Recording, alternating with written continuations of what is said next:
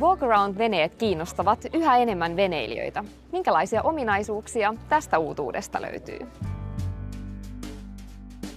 Venemessullahan on totuttu näkemään aina erilaisia uutuuksia. Teillä on myöskin täysin uusi veneluokka, näkyy tuolla taustalla. Kyllä. Kerrotko tästä?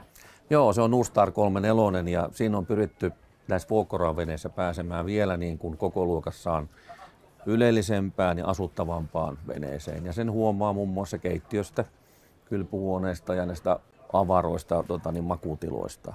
Että vaikka ostat järkevän Nustar-veneen, niin kuitenkin sulla on myös ylellinen matkavene.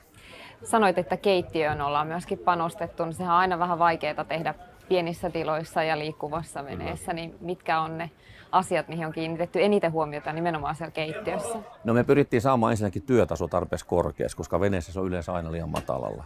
Toinen on se, että meillä on sekä ylä- että alakaapistot, siellä on jopa lajittelukeskus roskille useimmilla, useimmilla roskiksella ja näin. Että kyllä siellä on niin kuin ihan tämmöisiä käytännön juttuja. Ja totta kai design sitten. Kiiltävää valkosta ja pähkinäpuuta. No, tämä walk-around-systeemi, puhun systeemistä siinä mielessä, mm. että, että herättää tietysti aika paljon keskustelua. Toiset tykkää, toiset ei. Mitenkä se nyt on otettu vastaan, kun tämä on tehty kuitenkin näin fiiniksi nyt tämä vene? Hyvin aikaisemmin oli ennen tilanne, että luultiin, että puhutaan työveneestä tai vähän tämmöistä kalastusveneestä.